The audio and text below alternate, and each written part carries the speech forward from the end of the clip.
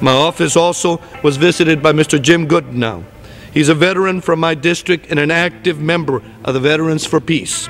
Mr. Goodnow has traveled all over the country, from his home based in Terlingua, Texas, abroad, his bus duped the Yellow Rose. He has been spreading the message of peace uh, for many years.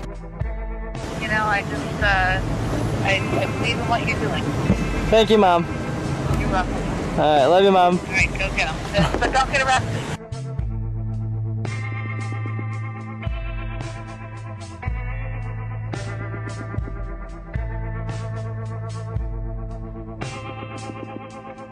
So we're here at the 2007 Vets for Peace Convention in St. Louis. Um, important time in history.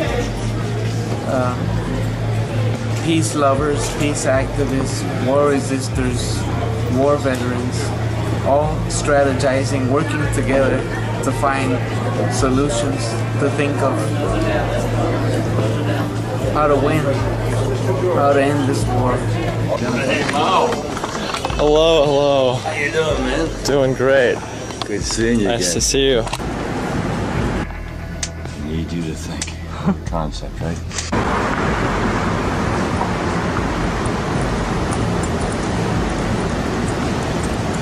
I signed up for the military because I come from a poor farming rural town and I was bored and I needed an escape and I wanted college money because I knew I'd never be able to afford on my own to go to college. So I signed up for the, for the army. rebuild the Gulf Coast. Give me out, rebuild New Orleans and the rest of the Gulf Coast. I'm one of those unique breed, I guess, because I signed up during the Clinton era. That I was against the war before the war started, basically. And once once 9/11 happened, I just kind of went like, oh shit, like, I just made a huge mistake. And so that's the conversation that we have to have. How do we stop this war and reprioritize the human needs of this country? So welcome to St. Louis, and I look forward to the weekend. A lot of the members of Iraq Veterans Against the War are like guys who went and believed in it, and then when they were there, something changed their minds and made them realize that it's it's not true and it's all a lie. But but someone like me went through it because I was afraid if I didn't, I'd go to jail. So it was like. I, I signed up, I, I realized I made a mistake, and then I did something I knew I was going to hate. And uh, it was something that, it took me a long time to come to terms with was willingly doing something that I thought to be wrong and bad and evil. What we have to do is to take on two major parties. We have to take on the Republicans and we have to take on the Democrats. The war's been going on for four, almost five years now, and we, we still haven't succeeded in ending it yet. And frankly, to me personally, every day I wake up and I realize the war is going on still, and it's like it's it breaks my heart every day to realize that we keep failing. Like we're making a little bit of progress, but every day we go to sleep not succeeding in our ultimate goal. And I'm not going to stop until we do succeed. And we gotta do it fast. We gotta do it fast because every single day we're having three to five to ten Americans killed, 200 Iraqis being killed every day. I mean, it's up to us. If we want this war to end, we've got to buck it up. We've got to buck it up and we've got to come up with some more creative ideas of how we get, as Jamala said, how do we get the African American community in there? How do we get the Latino community? These communities that are the ones that are probably the most affected at all because they're the kids that are joining the military.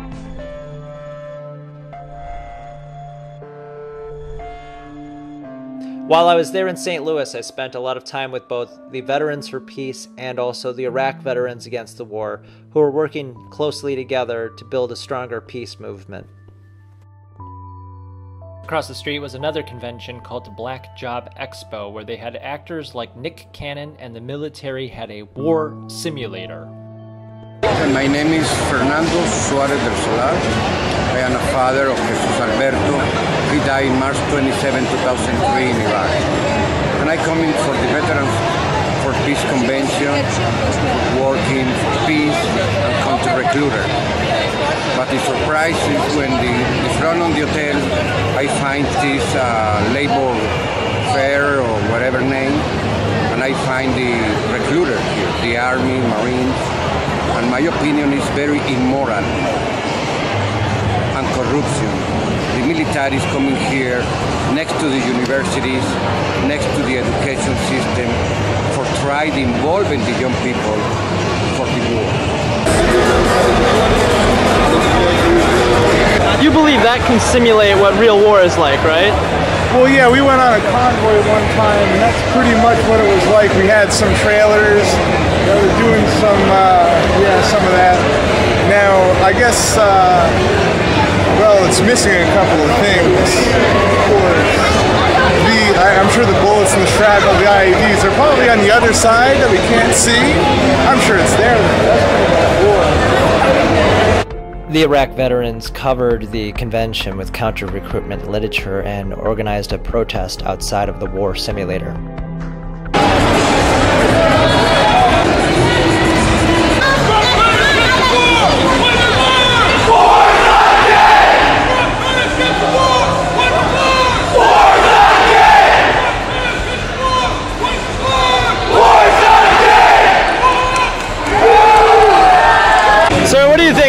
Action done by these veterans just now?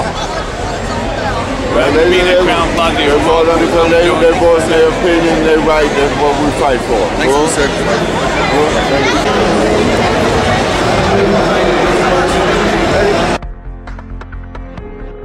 My name is Juan Torres, I'm Gold-Star father and only son. John Torres died in July 12, 2004 in Bagram, Afghanistan. Fernando Suarez de Solar, Gold-Star father, my son Jesus Alberto died March 27, 2003 in Iraq. My name is Carlos Arredondo. I'm from Costa Rica. My son born in Boston, Massachusetts. He served the Marines. He went to Iraq and he served two tours in Iraq. At the age of 20 years old, he was killed in Najaf. My name is Al Zappala. My son Sherwood Baker was killed in Baghdad on April 26, 2004. Minutes later, the fathers ran into some active duty Marines and had a chance to talk with them.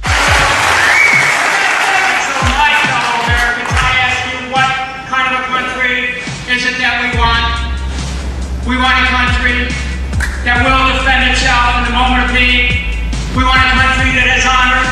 We want a country that has dignity. We want a country that will use its resources to take care of our people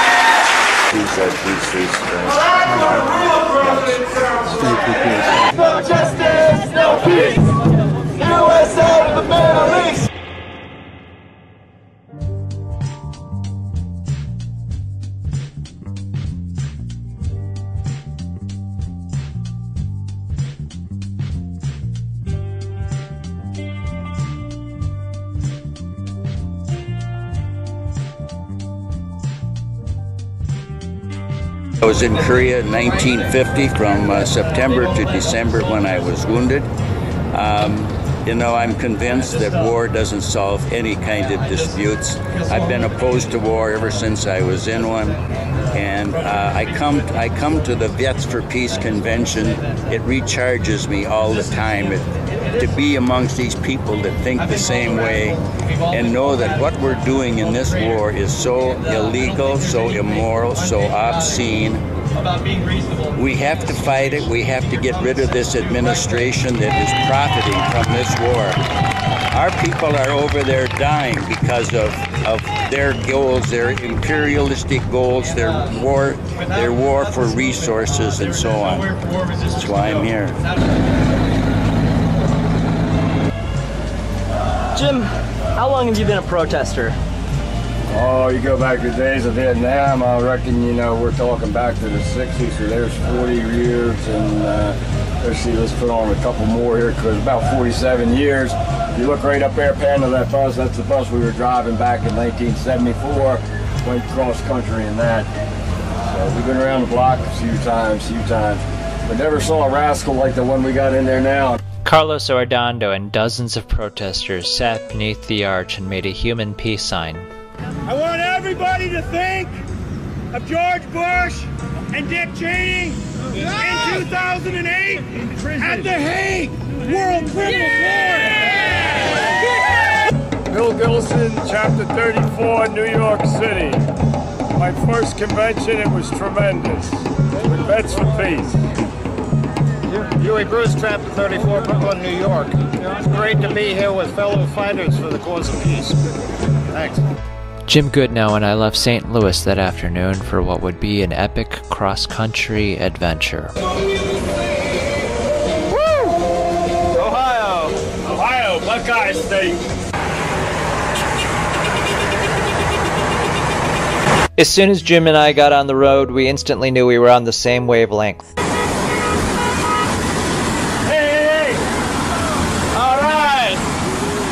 And when people would give Jim the finger, he'd pull out this cross and try to track him down. Gives you the finger, but he won't come back unless you put a cross in his face.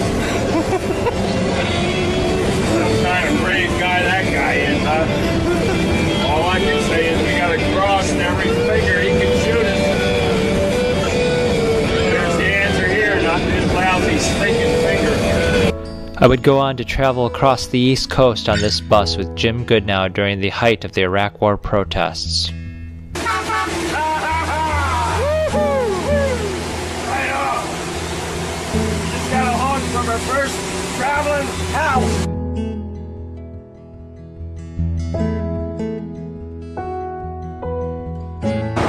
through the tunnel here right under the Allegheny Mountain. Good old Pennsylvania, rolling for peace. No more war. No more Bush. No more Cheney. And fog. This is what our country's giving us, a whole mess of fog. That's Americana. You don't see chew Mail Pouch tobacco. Chew Mail Pouch tobacco. Treat yourself. Do the best. That's a piece of history. Know, you're out here on the highway, you get to think things over, and I'd just like to say that repeatedly in my mind comes this thoughts of you. You gotta honor those for whom honor is due, but be wary of the impostor who subjugates and rules with fear. Rules with fear cloaked with arrogance. And I guess I don't have to tell you who that individual is. Turns my stomach inside out to see what he and his fellow cohorts have done to this beautiful country and this beautiful land of ours. Now, Jim would come to Philadelphia on a regular basis for several reasons. First, there was a ship captain who would make biodiesel that the bus was able to use. He also kept a station wagon in the city of Philadelphia that he called the Mothership. And right across the street was free bus parking. Ideas being implanted in thinkers' minds. Can't really turn away yet. He's got to read one more. And look at what this bus says on it. Hmm. Morning thoughts on a morning walk.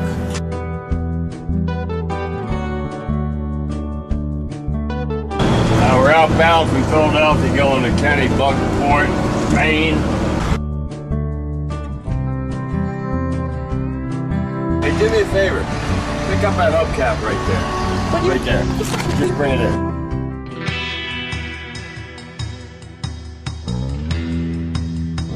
Are you filming this? You th- currently thinks you're insane at the moment, but You currently thinks that the captain's insane does not know why we're picking up these hubcaps. I have no idea why you're picking up. More to be revealed. I shall tell you about the great ah. hubcap caper, okay? Okay. It's a very important deed you just did, young man. This is the Betsy Ross Bridge, and we're leaving Philadelphia. We're leaving the state of Pennsylvania, crossing the Delaware, not too far from where George crossed a long time ago. Not George, well, yeah, it's George W., but it was the real George W. The W in the George I'm talking about stands for Washington. These are the hubcaps that young Miles, my trusted crew member, recently risked his life in heavy traffic. However, he was going quite slowly on the I-95 over Philadelphia to bring aboard the Yellow Rose. Now, why would I send my newfound crew member on such a mission? Ta-da! Ta-da! Ta-da! Ta-da-da-da-da! Now, is that a piece of beauty or not? And folks, that's a hubcap. This is recycling in its finest state. Collie Ryan lives on the border, right on the Rio Grande River, in a gypsy wagon, an old school bus, about a 1936. It's so old that the engine is no longer in it. The tires are threadbare, but it's a beautiful gypsy wagon. Collie paints these hubcaps that are donated to her from travelers such as us. As you can see, it's quite an artwork. Back to my yachting days, we had those yachts like that. We got a pretty good yacht right here. Over here on the Hudson River. There you go, New York City all the way down to your right. This is so different from where I live. On our way through Massachusetts, a cop pulled us over and gave us a bogus ticket. currently getting pulled over. Failed to pull right for emergency vehicle. I think we were harassed here. If you look here at the traffic, there's all kinds of traffic. It rides in the left lane. There's nothing here that says no vehicles allowed in left lane. We then crossed the Merrimack River and entered the state of New Hampshire. What's it mean? Live free or die? How come I gotta pay?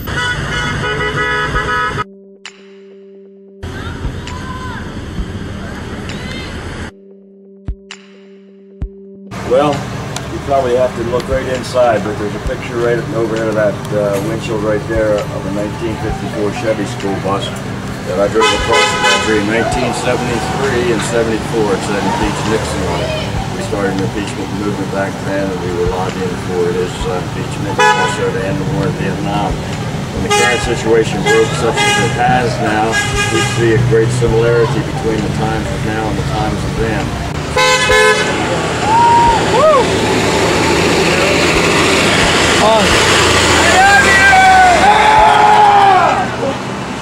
I'll be a hog, but it's something. Countless rallies, my lord. I've made most of the major ones in Washington, D.C. We go to events out in uh, Minnesota, Chicago. We've been down to Fort Benning, Georgia for the SOA Watch. We go to the Peace conventions, support the rallies, and in particular right now we are very supportive of the Iraq Veterans Against the War. They've utilized this bus and I drive them for their uh, tours. They go to the military bases. They speak to active duty military personnel forming a GI resistance, if you will, from within. Remember, I'm a veteran, and as a veteran, we take an oath to defend this nation against enemies, both domestic and foreign. I'll tell you right now, we got a problem here with the current administration. You can't have the blood on your hands that we have now. Folks, really listen, this is real. It's not a video game. There's over 600,000, maybe some reports say up to a million Iraqis dead. These are basically innocent people, much like the people here we see. They're flesh and blood. We're all one family in this world. We got to get that real. I'm old enough to know that. I'm old enough to know what authority is and what it isn't. I don't fear the generals. I don't fear the politicians. They're supposed to be serving us, not us serving them. Let's get it right. Get it right now. Or, you know, the country's gone. You hear about the rally being here, number one. Number two, it isn't Kennebunkport, where the president's dad lives, the former president. I know we can find another president willing to say what Dwight David Eisenhower said over 40 years ago.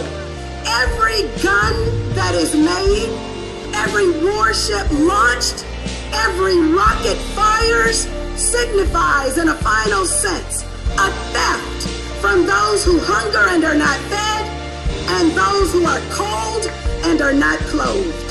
The world in arms is not spending money alone, it is spending the sweat of its laborers, the genius of its scientists, and the hope of its children. I want peace, and I want it now. Thank you. Yes, we're here in, in Point today, and we're near the home of George Bush. But let's not let's not deceive ourselves about this. The fact of the matter is that it was a Democratic Senate that let the war happen in 2002. It's a Democratic House and Senate that can stop it in 2007. Today is my son's third anniversary of his death in Iraq after he was serving two tours in Iraq. He died on August 25, 2004. Uh, we here to to remember him and remember all the others and all the the people who been got caught up and died in this war. Today also is my birthday, the day my son died, and also we celebrate life. At the same time, we we remember all these people who who lose this lose their life in this nonsense war. And in Kennebunkport, today is a very beautiful day. It's hundreds hundreds of people participated and and it's wonderful to see the the people still going the streets and doing demonstration because uh, it's very important. We have a lot of young men and young girls who are marching also, which I think it's great because they are the future of this country, the future of the world, and it's good for them to see that this is democracy, you know, and we participate work together no matter what.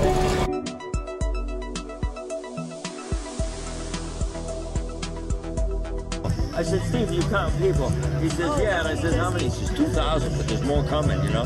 So the cop said 4,000. So I've been traveling on this path with Cindy Sheehan since the first summer, joining forces with them, being on the road for this whole tour we just did. This was an over-the-top, magnificent, absolutely wonderful experience for all of us. So, you know, this is, this. I mean, you talk about the good old days, and here we are with you know, uh, my heroes, basically. And what's so special about this group of people is every single person here is here out of altruism.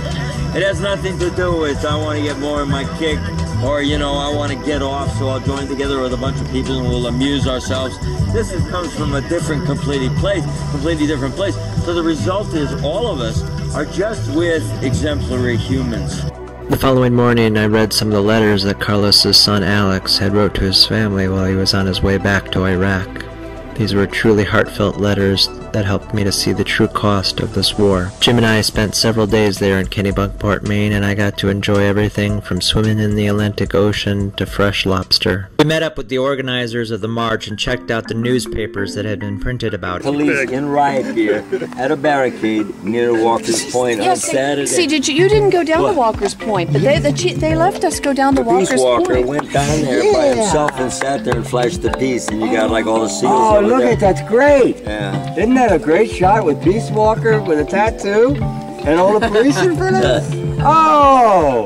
This girl right here, she's a coping. I met her in Washington, and she's I, I call her butterfly because she's always in the. In She's ev- from ev- she Ireland, go like right? this event. Is she from Ireland? She live here in, in, this, in this state right here. Where's She's from Belfast? Ireland. Oh, it's But up I like this picture. Oh, I thought that was It's Ireland. Very nice. Up the coast, not the Irish coast. not that Belfast. no, that's not That's Bush's place. All of this property is all of Bush's place. I tell this guy why he's wearing a mask. Why you covering your face? I'm not covering my face. I asking him, challenging him. Now I'm the one who challenging him, telling him, why you covering your face? ask me that. Why you covering your face? You don't see me cover my face. And he's insulting me with this little uh, Yeah. microphone. And he never give me an answer. Why? Yeah, but look like he a, must be on the look other at that. side. Look at his muscles. Liam. Liam. Bulging he was. Liam's Look not that the- big a dude, man. Look at his mouth. I mean, does that tell it? Later that day, Jim and I met up with this female folk band and we filmed the Bush compound up close.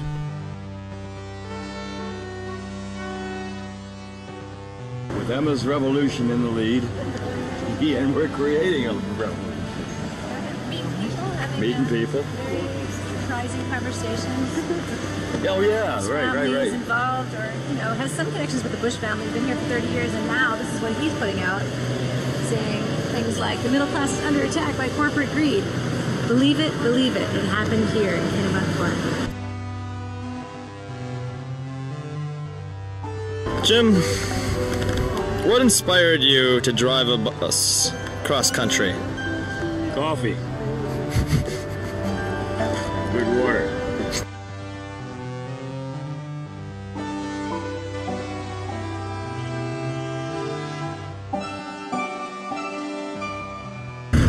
Sometimes you do a lot of good meditation and you just ride, you know, just your inner voice empty out, kind of quiet down and center yourself. I find out a lot of things, uh, revelations, you know, you really get into a, a groove, like a mantra or like a zone. I love, I love driving and just let the feelings flow through me. Freedom. And it's Miles' birthday, and uh, getting him into Boston a little late here. So you got to get him a plate of. Guinness. Guinness. Guinness. Because he's an Irishman. You got to go there and go bra and see the young lad's properly welcomed into his 22nd year here on planet Earth. And let's hope there'll be 22 more that he can enjoy and a couple after that. The current regime controlling this nation, it's not all that promising the way this old desert rat sea captain sees it.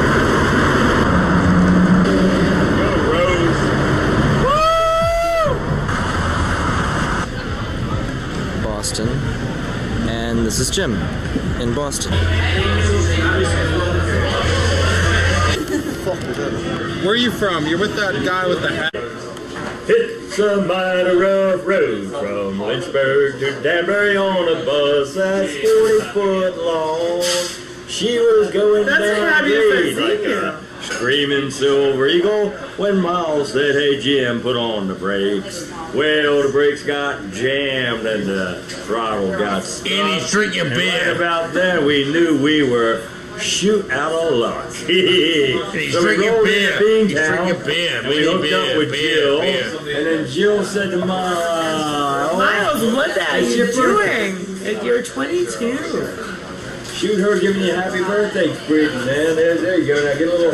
This is an example of a fine Boston lady, folks. Here you go. they kept buying him drinks.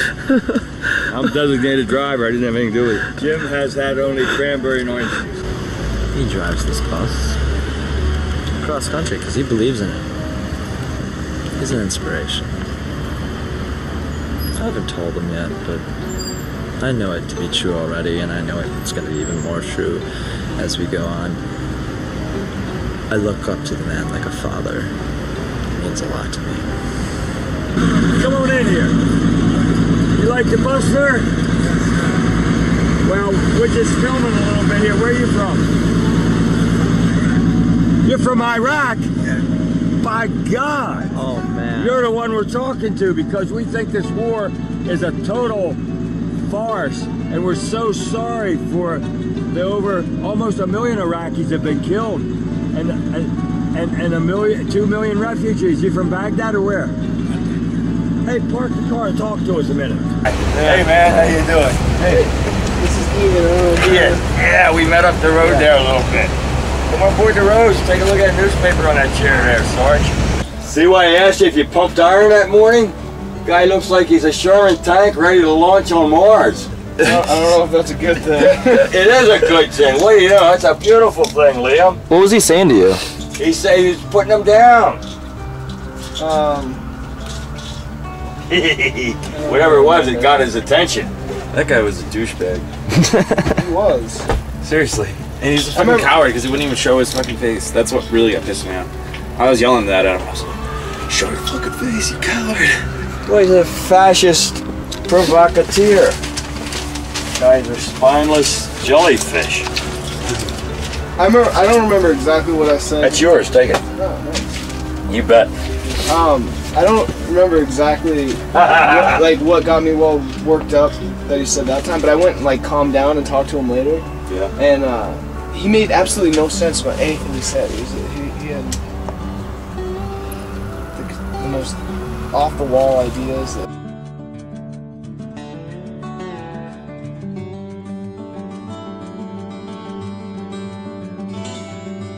Well, that's an interesting hat. Yeah, that's, that's going to catch on, that hat. With all the bumper stickers going back to Italy. Folks, that bus just took a whole bunch of bumper stickers from us, and they're all Italians here on vacation, and they understand what world peace is about. They also know what George Bush and company are about. Sweet, sweet silver eagle. All right.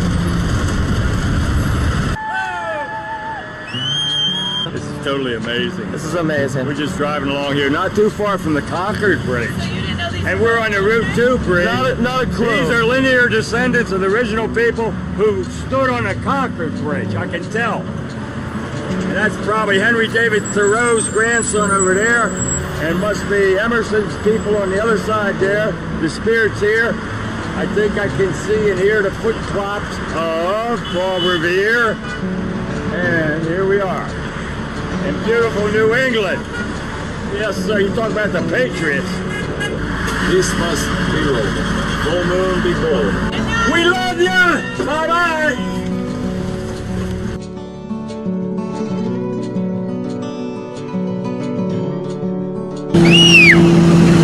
big high five. Hey, bro! Ah, you up and? Give big high five. All right, brother. How you doing? All right. All right, all right. That's my good friend Q. This guy's amazing. Every time I come up here to Connecticut, we run into each other somewhere. Hey, you got a plus on there. this guy is one of the members. So tell us what's happening up here now. Oh man, politically these people going nuts around here. You know, they're trying to get. I don't know what they're trying to do. They're undecided. You know, people like you have them all running.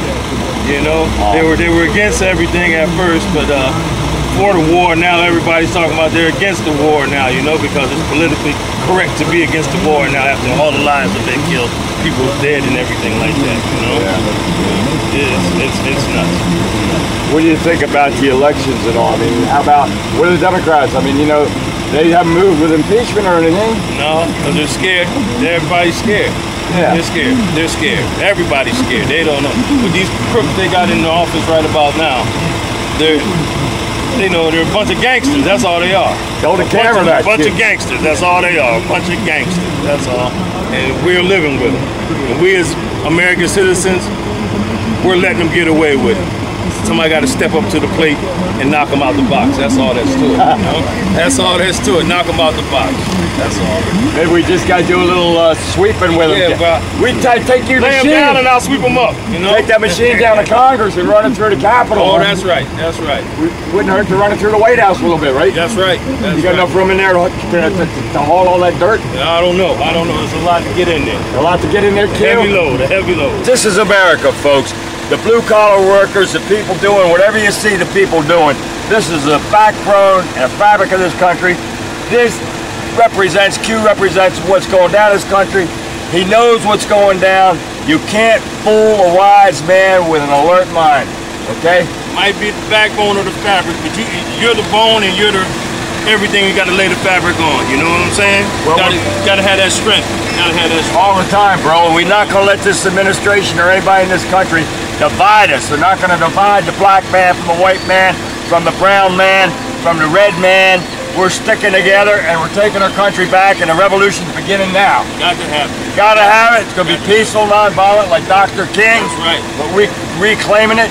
Q's got his piece of machinery here. He's gonna clean this mess up, and I'm gonna carry the message in that piece of machinery up there. We got a convoy going right here in beautiful downtown, somewhere near New Haven. Yeah. What's this now? This is New Haven. This is New Haven, Connecticut. My man, my main man in Connecticut here, Brother Q. All All right. right. Last All time I was here, tell him how high the snow was here. Q. Oh man, the snow was knee deep up here. My Yeah. man was out here getting ready to go in some deeper snow up in Maine. I got to get out here. and I gotta get out here too, yeah, Q. Yeah. Don't fail to call me. No, you uh, got a computer, right? Yeah, I got a computer. You got any more of these cards? Is just Yeah. one good enough? All right. No, uh, yeah, give me a couple more of these. Okay, pass it out to some of your Yeah, friends. because I passed out all those bumper stickers, you know. All right, bro. I know some people who got mad because I put it on their car, I turned around and put another one right back up there again. All right, Q. On our way into New York City, we visited Jim's father's grave.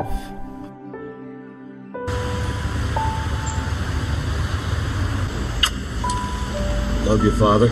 Thank you. We're blessed. Have that spirit with us.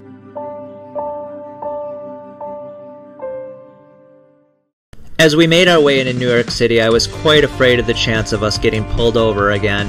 We made our way past the headquarters of both Fox and NBC. We saw people going into the Dave Letterman show. We drove up Broadway to Times Square where we saw the naked cowboy and he gave us the peace sign. We gave one of our Impeach Bush bumper stickers to a guy driving a little rickshaw. One military commercial after another. One military commercial after another. Not standing plate. Yeah, look at that. Give me another one. And Skippy. Give you want another one? You Sarah? We met up with Sarah Flounders for a protest at Rockefeller Center where I ran into Huey Bruce, an activist from Vets for Peace that I had met in St. Louis.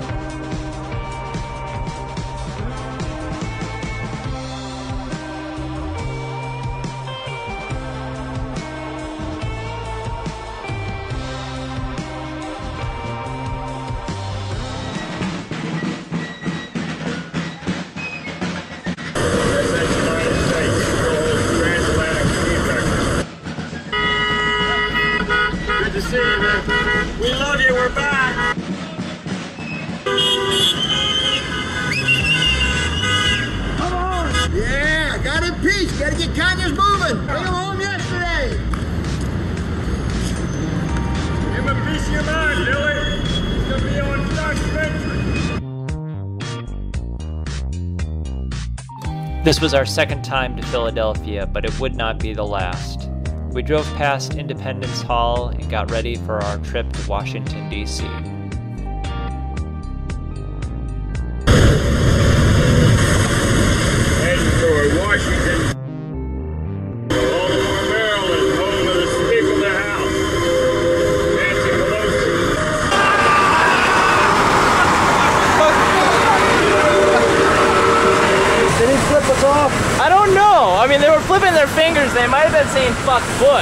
Bush." I don't know. Yeah. Get up for him. Fuck George Bush. Easy What's pass- Baltimore think of Bush? Film him. George Bush. Baltimore says, fuck you. That's Baltimore for you. They said uh, F. Bush, didn't they? Turbo kicking in. Turbo. Baltimore Harbor. Home of Francis Scott Key. Star Spangled Banner. The Baltimore Orioles. And Johnny Unitas. Johnny you, Back to the old days. Drakeford. Seafood. And lacrosse.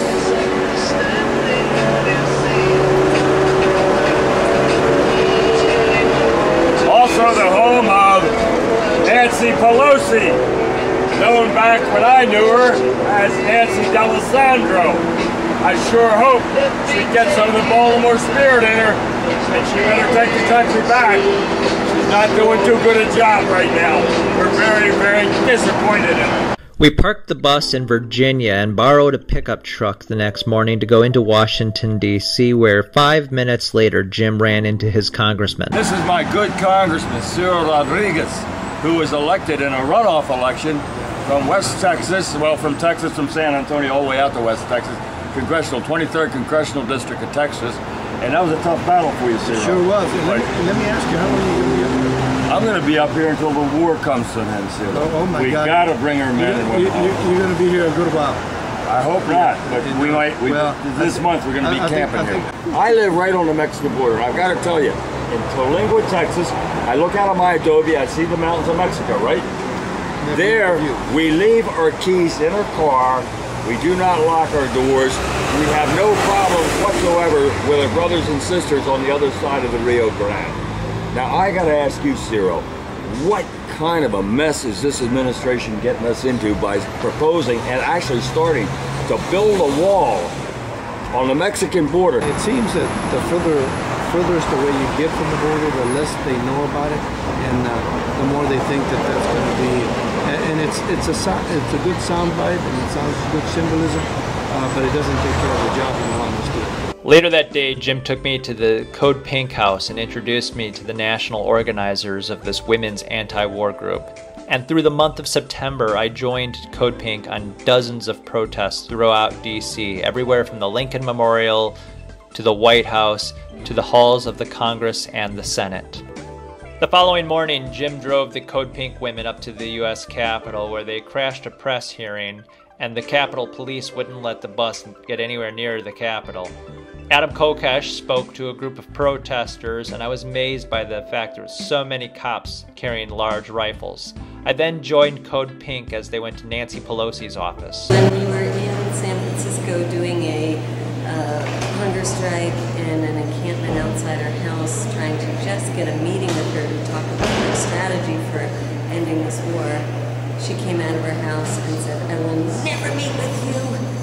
You're nuts. So we were quite hurt by that because we were sacrificing a lot to sleep out on the cement and not eat. And we have strong convictions about this war. And we don't think we're nuts. We think it's kind of nuts to say you're against the war, but then keep allowing the president to get more and more billions of dollars for war. That sounds kind of.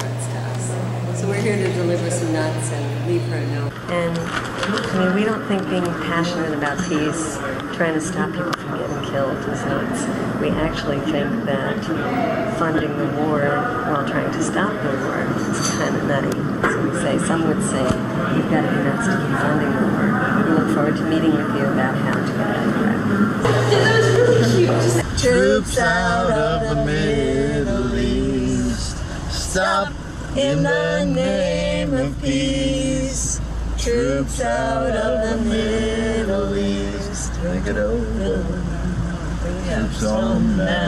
Later that week, I went with Code Pink to a U.S. Senate hearing on the Iraq War.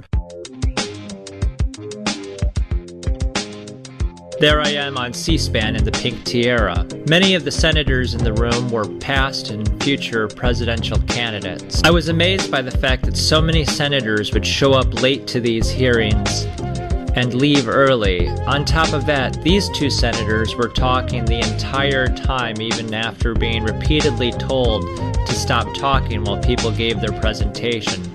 But they continued chit chatting and ignoring the presentation.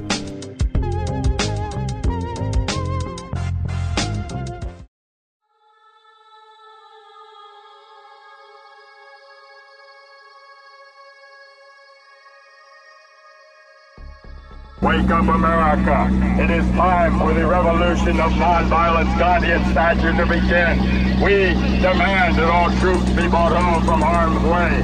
We demand that our Congress wake up and read what the Constitution says. Bring the troops home. Bring them home now. Hello, I'm Medea Benjamin with Code Pink, and we're riding along this lovely Potomac River on a beautiful Saturday afternoon, right in front of the uh, home of Speaker Nancy Pelosi when she's here in Washington, D.C. And we've been riding up and down telling people to go into her condominium building and leave her a note and tell her that the people want her to do what we voted her in to do, and that is to end the war, to bring the troops home, and stop funding this horrible occupation. So before you leave, just go in the lobby and leave a note for the Speaker of the House, Nancy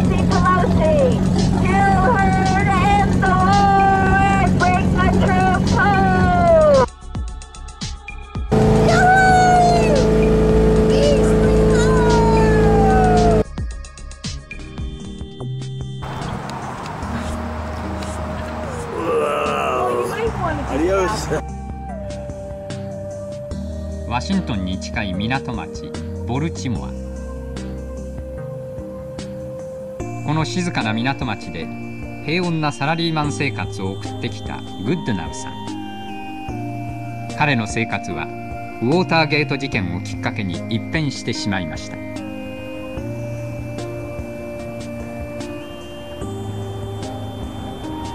As I watched the hearings, I became shocked. And I realized that a lot of things that this country stands for, these purposes, the reasons it was founded for, these things were taken away from us and have been misused. Constellation over there was the first ship of this nation's Navy. Fort McHenry's just down beyond the bend over there. Up on that hill's Federal Hill where cannon lie from battles before. There's a lot of heritage here, a lot of principle and a lot of tradition. And I don't think the people of the United States are ready to give up all this heritage, principle, and tradition and allow a dictator to be our president, allow a man to operate on his own will without consulting Congress for those deeds that the president must consult Congress for as put down in the Constitution.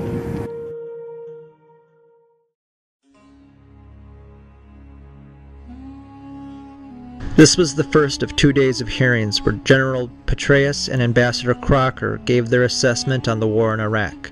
Members of Code Pink, the Iraq Veterans Against the War, and other activists were there to also let their voices be heard. My name is Jeff Millard. I'm the Washington, D.C. chapter president of Iraq Veterans Against the War. I'm in Cannon House office building, um, waiting in line to hear General Petraeus' report. And I thought it was important to come by because the fact is, is that General Petraeus no longer represents soldiers.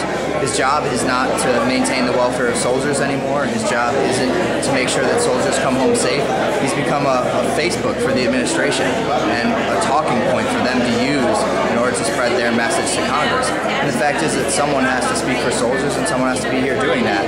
And with nine years in the military and uh, the last two years being active in Iraq Veterans Against the War, we brought members of Iraq Veterans Against the War here to actually represent the beliefs and feels of the military who last year, over 70% of the U.S. military fighting in Iraq wanted to be home by the end of last year.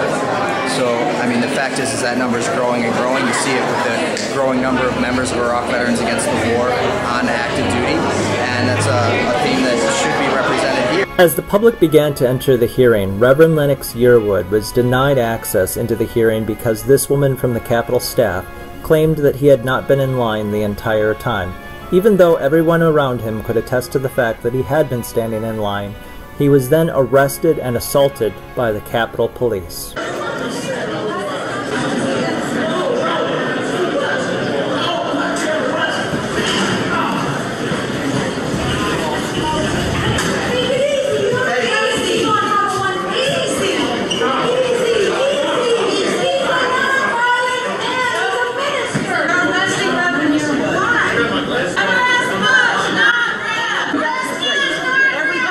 For yelling, Arrest Bush, not Rev, Gold Star mother Cindy Sheehan was arrested, and within minutes, her sister Dee Dee was also arrested. Then, moments later, Code Pink activist Lori Perdue was arrested over a non existent stay away order. But this was only the first of many arrests that day. Inside of the hearing, the Capitol Police physically removed many of the Code Pink women from their chairs when they stood up and spoke out against General Petraeus and Ambassador Crocker. Please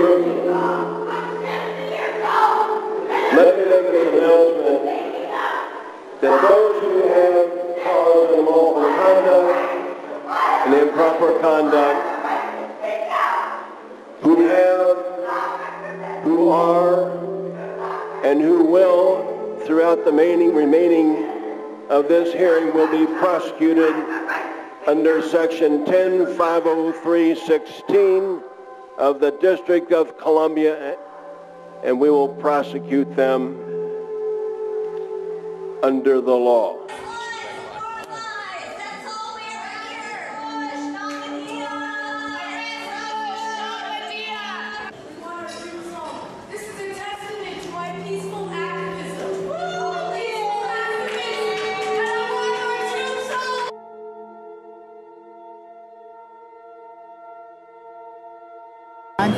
A uh, retired U.S. Army officer and also as a diplomat who resigned in opposition to the war in Iraq. And I'm here at the Petraeus and uh, hearings to hear what they have to say about what they they feel is necessary for the United States to do in Iraq. I personally believe, uh, after the testimony of both of them yesterday, that still the best thing for the United States is to uh, uh, to remove itself from from Iraq. I left the hearing with Carlos Arredondo where we ran into the presidential motorcade. Oh yeah, they're coming this way. There it goes. There it fucking goes. Fucking bastard. Carlos and I watched as the very people responsible for his son's death drove by. It was a truly heart wrenching moment. Years later, Carlos saved a young man's life at the Boston Marathon bombing.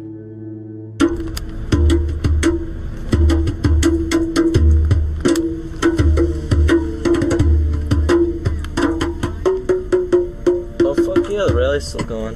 Oh, what? Really? That's that's that's a rally, alright. Sweet. They got a big screen. That.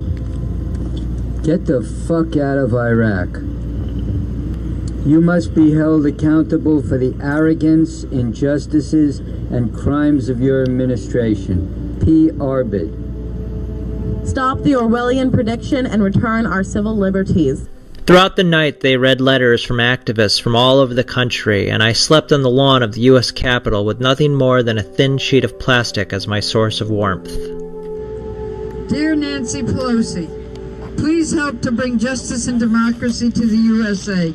Impeachment is appropriate. Joy Schneider. This is my campsite. Uh, Later that day, the protesters brought the thousands of letters demanding the impeachment of George W. Bush and Dick Cheney to Nancy Pelosi's office. Hello there. We just got passes. Get up in the House gallery. If we don't go to jail. come from a dictatorship. I have lived one. I don't want to live in another one. Especially, I don't want my three grandchildren and the children that are coming, the third generation behind me, live in that one.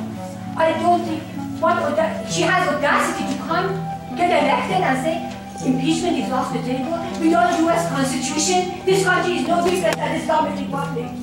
She has to realize that. This country is based on law, and this is the only thing that makes this country different. Islamic Republic of Iran is as capitalist as this country. But the only thing this country has built on, 200 and some years of trying to build a democracy. And she is giving it up. What right does she have? Chief of Staff closed the door on the protesters, and the protesters continued on reading the letters.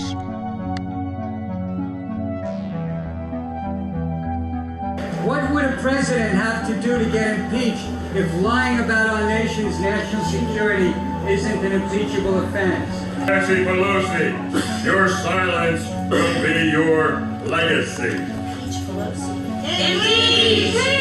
Back at the Code Pink House, Mona showed me the bruises caused by the Capitol Police during the General Petraeus hearings. How old are you? I'll be 70 next month. Ooh. And and how many officers grabbed you in this picture?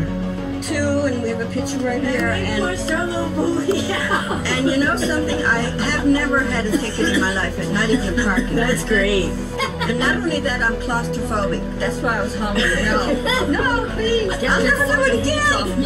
It just shows you what they they're stooping to. They're going after an old grandmother.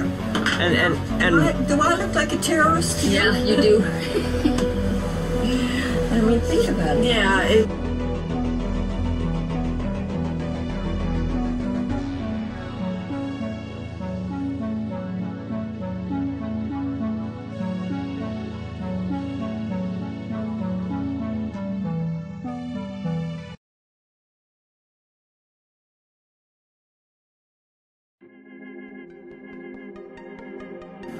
benefited from their advice, and I have accepted General Petraeus' recommendations. I have directed General Petraeus and Ambassador Crocker to update their joint campaign plan for Iraq so we can adjust our military and civilian resources accordingly. Good thumbs up, man. No mercy. Jim and I left Virginia heading for Washington, D.C., where we attempted to stash the bus at the train station between Fox and CNN. The eve of the big demonstration, September 14th, Friday night. We sat there parked between CNN and Fox until the security kindly told us that we had to leave the building. We spent the night traveling around Washington, D.C., unable to find parking.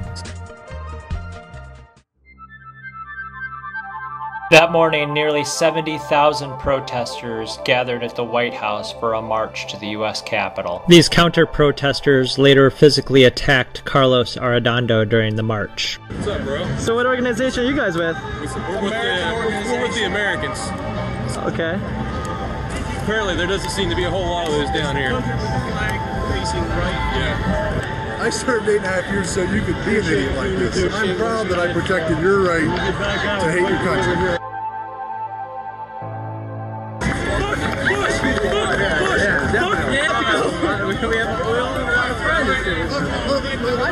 Love it, love it, love it. You're good, you're good. You guys need to try better.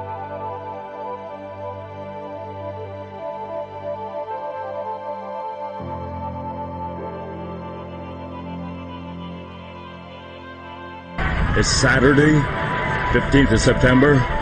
We're coming to you from Washington, D.C. The Rose is parked at the corner of New York Avenue Northwest and 15th Street.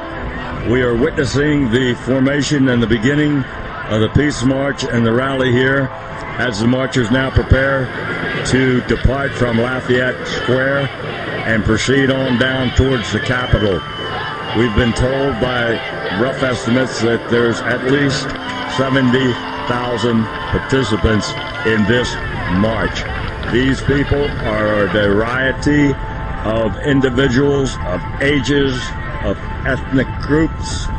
They're from all corners of this country, and I've met and talked with several individuals that have come from Europe and as far as South Africa and Australia as well, joining in on this call to end the madness of this war. And also, I might add, everybody here wants to end the madness of Georgia's presidency as rapidly as possible.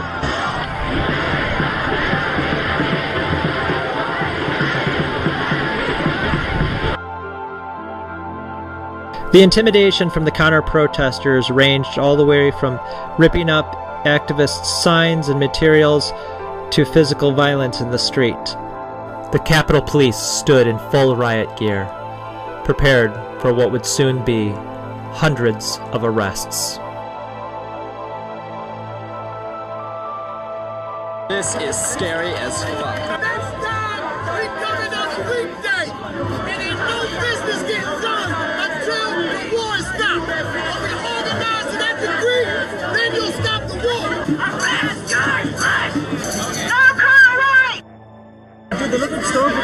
Star Wars. I know, they actually look like stormtroopers. From Star Wars. Holy shit. And the guys are patting on their arms.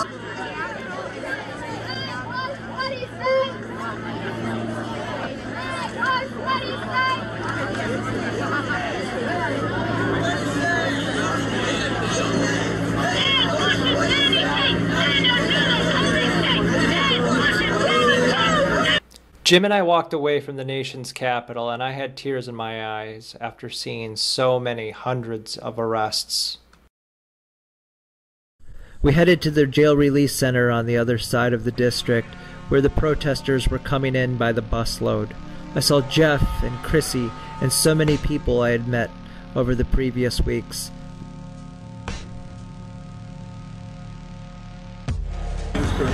You got a bus up here, you can lay back on it. I think. Adam, how many times have you been have you been arrested this week? That's that's two now. Woo!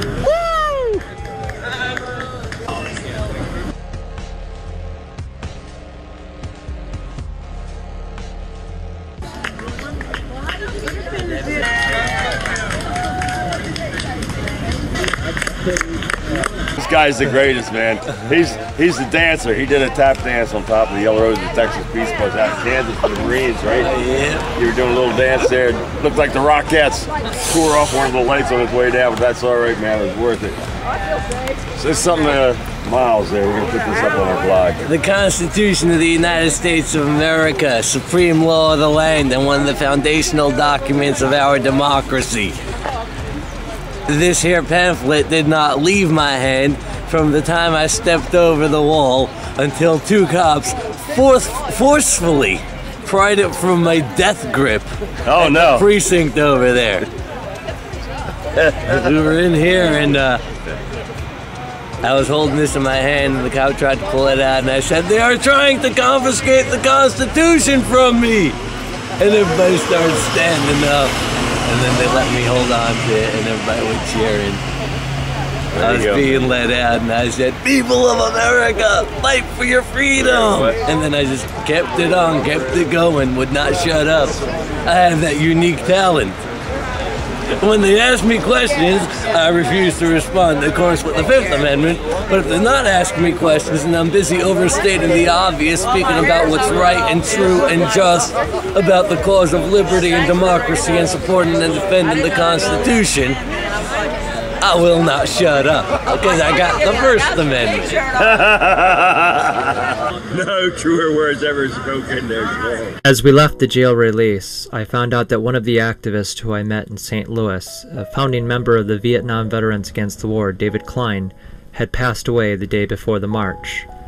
Jim and I went to the Vietnam Memorial to join activists and veterans to show our respect for Dave Cline. First time I met Dave, uh, he was actually the first vet that I talked to as a vet. And uh, before uh, I went to Iraq, I went to an anti-war demonstration, and I didn't. It was my first anti-war demonstration. I didn't know what the fuck I was doing, but I knew I had my green field jacket and uh, a but and uh, a spot on a bus going to New York. And when I got there, everybody was like, "You should march with the vets. You should march with the vets." And I didn't know quite what that meant, so I walked over to this spot on the map that they said the vets were meeting, and I talked to this, you know, this old Vietnam vet the whole time about how I was worried about going to Iraq. Never once said don't go or do go or anything, and he listened to me for the whole march. I don't know how long it was, um, but if it's one of the marches I've been involved with since, it's probably like fucking 12 hours. but I, I complained the whole time and he barely said anything. And at the end, he gave me his card and he said, whatever you decide, when you get back, you give me a call. You'll need it. And uh, I moved into an apartment of, uh, after I got back and I was going through my old stuff and I pulled out this card that I found that said uh, Dave Cline, Vietnam veteran activist. Later that week, Jim and I went to this African American festival held at a park there in Washington, D.C., where I met Professor Griff of the group Public Enemy and also poet, comedian Dick Gregory. Well, let me just say, we want to put labels to just war. Bunch of warmongering thugs that they go from one place to another. And what makes what you're doing so good because it's a new mindset now. And people's beginning to listen. And they have a multi-trillion dollar machine. They said we're gonna do it our way. Uh, it's about all. And the big war, y'all just give to get ready. The big war is gonna be over water. Shit, I don't live without oil. I can't live without water. And that's what this is fixing to go. It's World War IV. We got to do is get people's mind into, and I guess the one question all us Christians got to ask ourselves is, how come how come there are no atheists on death row? What is it about people who don't believe in God don't kill folks? So I just want to thank you for what you're doing and enjoyed being with you on September 11th. I went to a FISA domestic surveillance hearing, and on my way there, I noticed a group of veterans for what, what I later would discover was a pro Bush, pro Iraq war rally. I went to the FISA hearing where many people engaged in civil disobedience. Can we interrupt?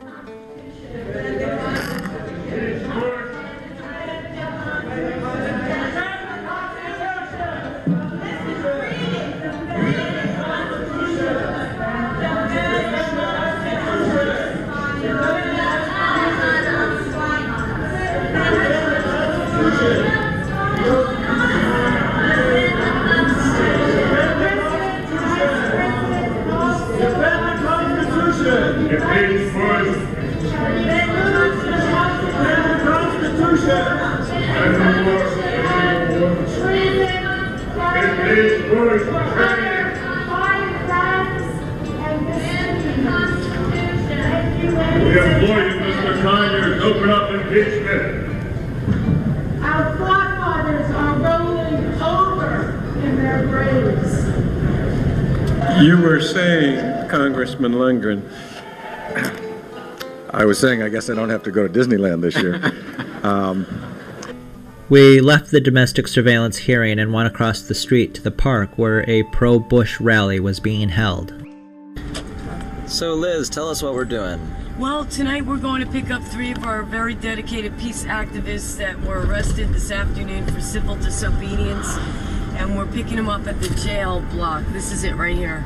The event was called Families United for Troops and Their Mission. Iraq Marine veteran Adam Kokesh was there attempting to make meaningful conversation with the attendees of the event. And to the side of the park were less than three dozen activists who were all threatened with arrest just for simply shouting. Jim is deep, deep inside the lion's den right now.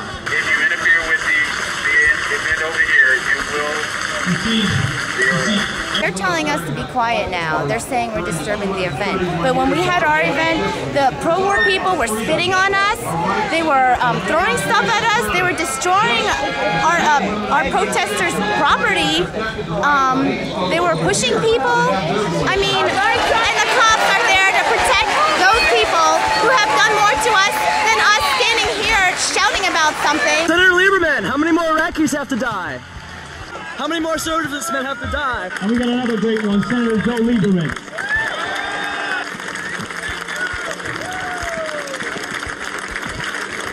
I attempted to silently film the event up close, but a woman with a large piece of paper kept jumping in front of the sight of my camera, and when I turned around, there was a Capitol police officer telling me that if I didn't move out of the area immediately, I would be arrested. Adam Kokesh tested the limits while at the event. He was constantly told that he couldn't be anywhere near the actual rally and that he couldn't even be standing silently to the side, that he had to be in motion at all times or he could be arrested for being too close.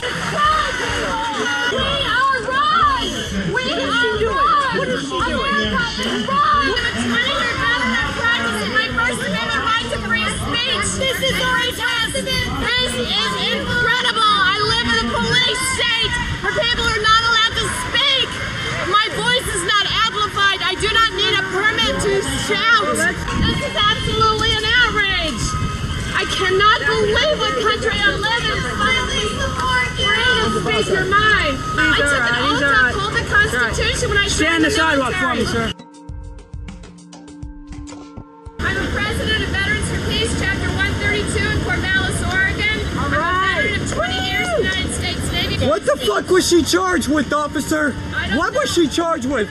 You are you have to inform her under Amendment 6 of the Constitution. What is the nature and cause of the accusations in which she is facing? I think this is the definition of a police state when we get arrested for reading our Constitution. Actually, I'm surprised they didn't drag more of us out there because we were yelling, and uh, you know, uh, McCain was there, so I was screaming on the top of my lungs. Quite honestly, I am surprised they didn't drag more of us out of there, and they were ready. But you know, they're just getting out of hand. They're arresting me for reading the Constitution, the First Amendment I was reading. Oh, wait, the right of free speech and free assembly. They arrested me for reading the Constitution. You got arrested while reading the First Amendment. Yeah, yep. Uh, th- There's something kind of ironic. I got about that. arrested. Well, see, I was wearing a pink hat. If I had been wearing a red shirt, I would have never been put in the spot with the Code Pink. I was standing on the other side. On the so other stay in the of left and police just go line. left, or you know. But they made me uh, move. This is a good lane because right I was wearing a pink hat. Because you'll be making and when a I right moved, if it looks I guess that made Yeah, it unlawful assembly. Yeah, it is. How dare you go where the police told you to go? Arresting people for reading the Constitution as we speak. people why they're bringing us. And they won't let us let them know. Is there any charges? What happened to you, Chris? What, were you doing? I was waving a copy of the Constitution. and I was grabbed by cops on both sides, and I said, "What are the charges?" Yeah, and they don't tell you. And Wait, you weren't even- had the Constitution in You weren't even too. you weren't even talking. You were just waving it. Well, she was whispering. Yes, I she was- was just saying. I was whispering, "Child Lieberman is the Antichrist." This is the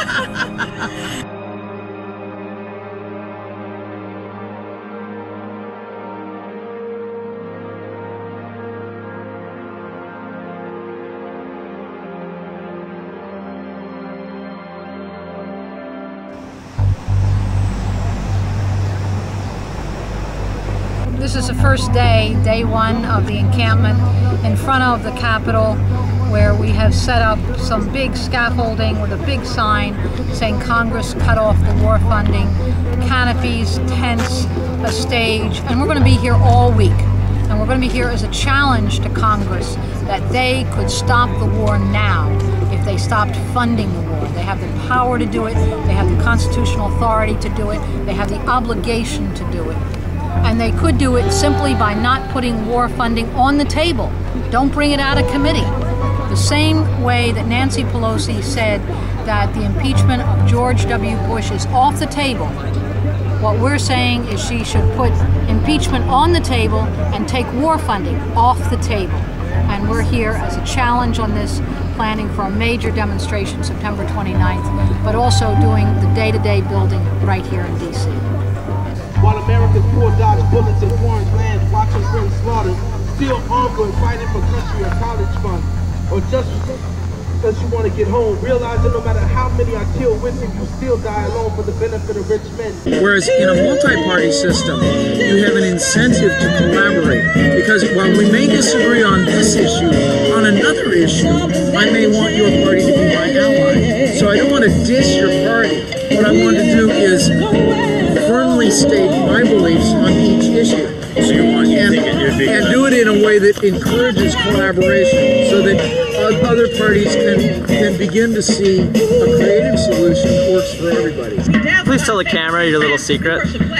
I'm currently AWOL from the United States Army And why are you AWOL? because I refuse to go kill Muslims. Steady sleeping, steadily embracing all our enemies. We need to wake That's up. why. when, when there's homeless dying here, you know, I'm not gonna go back and kill more people. The money should be spent here, helping our They country. don't sing about no cave.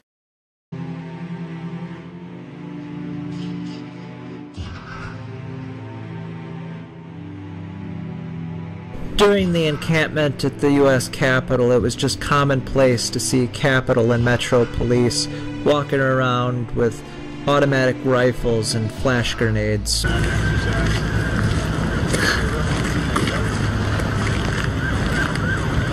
Do you feel safer knowing there's large assault rifles around your children? No, actually, I, I don't feel safer. I feel a lot more threatened, and I, I I'm just I'm, I, I'm blown away. I haven't seen this since I lived in Kuwait, and and uh, even in Iraq under Saddam Hussein, the officers carried smaller rifles than that. So I gotta say that that's really scary. The fact that they're walking around with them pointed at people. At the encampment, students from around the country got together to plan a spontaneous protest.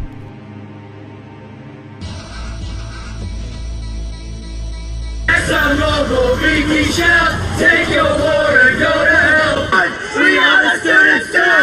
We recruited flag. We will march on the military. At one point, protesters went inside of a military recruiting station and took all of their literature. One, two, three, four, five, six, seven, eight, nine, ten, eleven, twelve. Twelve cop cars. Oh, even that thing's chasing us.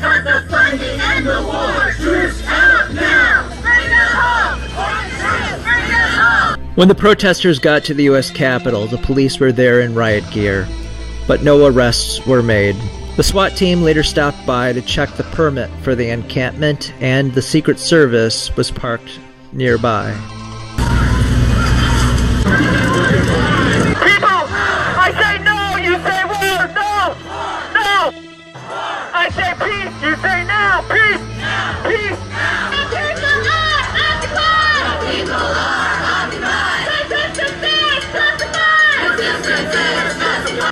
As the march ended, protesters began occupying Pennsylvania Avenue.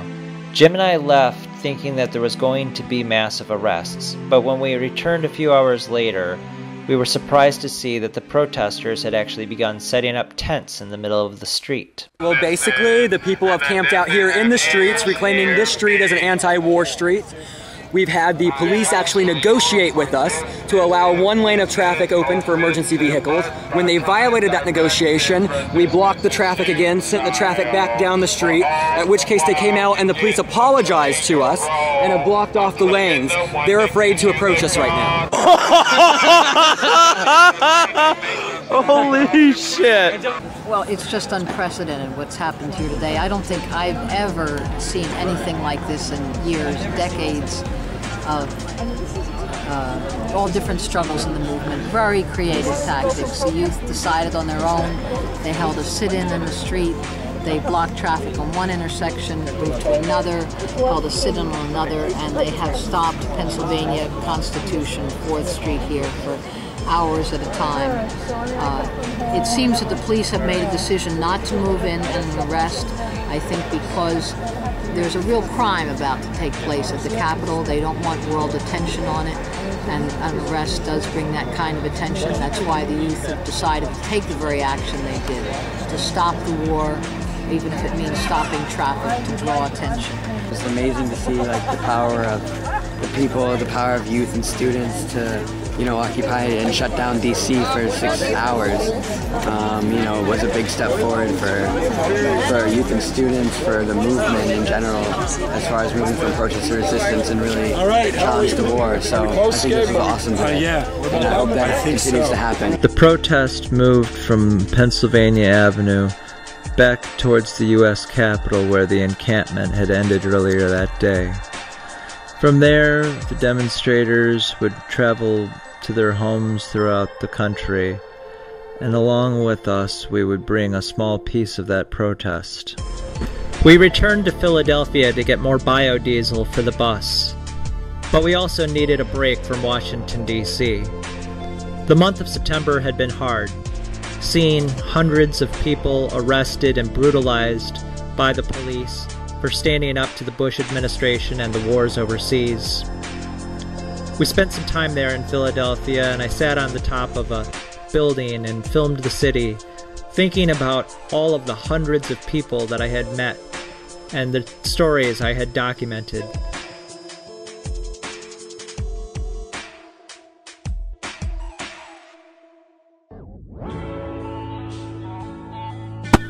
Jim was born in Maryland, but he was a cowboy in so many ways, not just living in Terlingua, Texas, but he had actually been in a Clint Eastwood western called Paint Your Wagon, where Jim played one of the miners. See, just driving this today, tens of thousands of people are going to see the signage on your Don't Attack Iran and peace.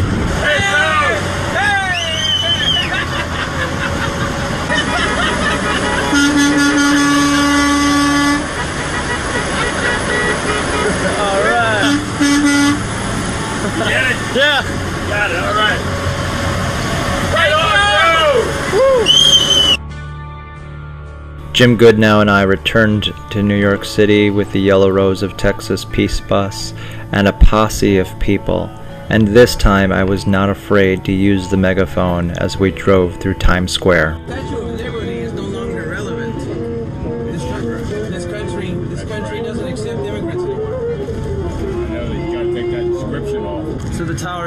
Towers used to stand where? Right to the right. Where? Right there, to the right. That's where they used to be. Right of that big tower building right there?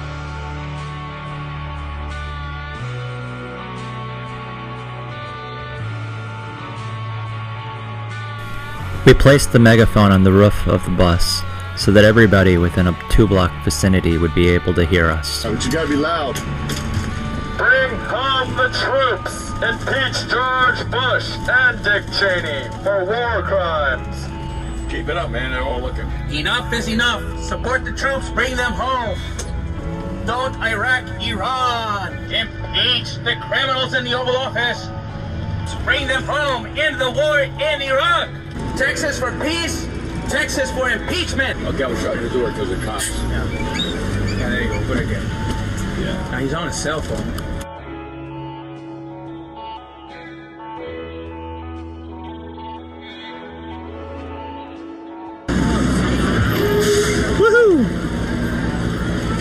You doing? Great, how are you? What do you think about peace? I think peace is necessary.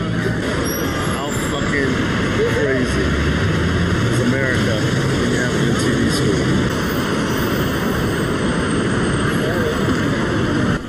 There we were at the military recruiting station in the middle of Times Square. An AWOL soldier who left the war and came back to the United States. I was told that a few months later he turned himself in. Travel. See that? You get to travel. Along the way in New Jersey, we often we would see on these overpasses these Ron Paul Revolution banners. We received many thumbs up from people driving by, and even one person who gave us the middle finger. Oh, middle finger, middle finger, a finger. Dun, dun, dun, dun. We're on finger patrol. This trip to Atlantic City was the last adventure that Jim Goodnow and I took together on the Yellow Rose Peace Bus. Later that week, he dropped me off in Washington, D.C., where I documented one more Code Pink protest before returning to Wisconsin. Jim and I had seen protests from Missouri to Maine and documented an important time in American history. Close you. What do you say? Close that door. Shooting us, mouse? Yeah. Okay. That's my posse right here. Okay, honey. Go up to her website up here and check it out, okay? Okay, honey. We'll see you later. All right, bye. She's sweet. I just wasted money at a casino for the first time ever. How boring. Very boring. Wasted money. Yeah, and the Don's and the Don's casino no less. Donald Trump.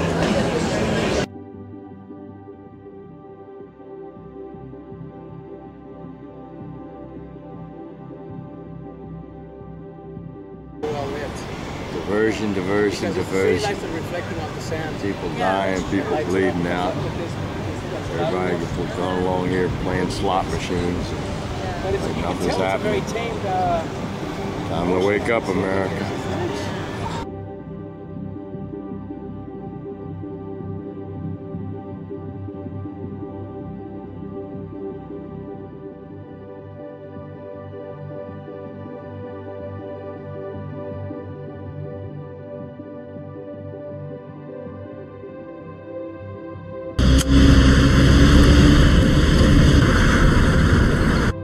I left Washington, D.C. that week on a train headed for the Midwest.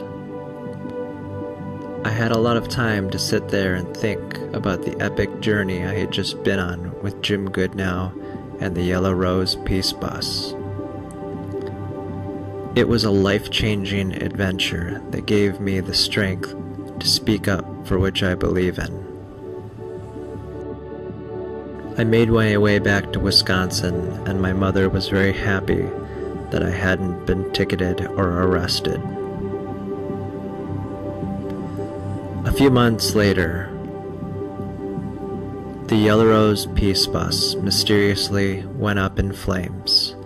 Jim safely made his way off the bus.